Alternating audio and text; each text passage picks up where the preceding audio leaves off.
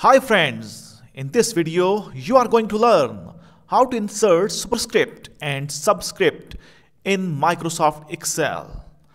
First here in front of superscript I type as superscript I type third.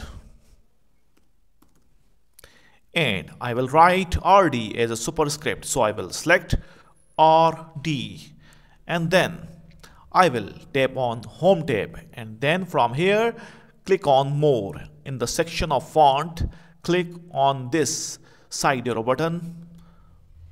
And from here I will type I will check superscript click OK and you can see that superscript has been typed. Now how can I type subscript? I type here C O I type C O 2 CO2. Now I will write this 2 as a subscript.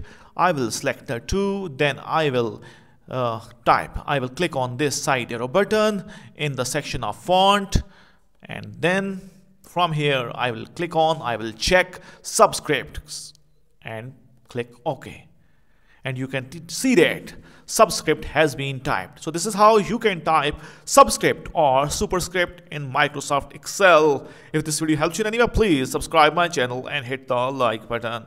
Thanks for watching. Thanks for your time. Goodbye.